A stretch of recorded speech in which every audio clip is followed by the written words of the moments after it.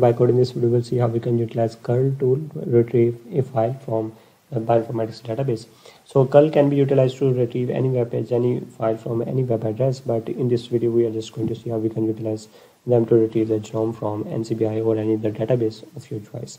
So just type in curl. If you don't have this program, you can install it by sudo apt and uh, install type in curl and it will take some time and the installation will be done. I already have it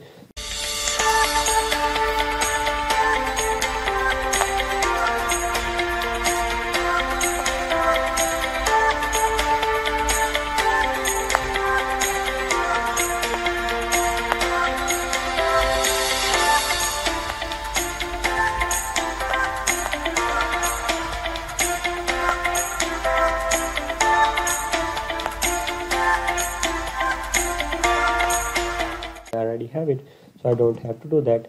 So all, all you really have to do is just type in curl pass in the web address that you want to retrieve and then press enter.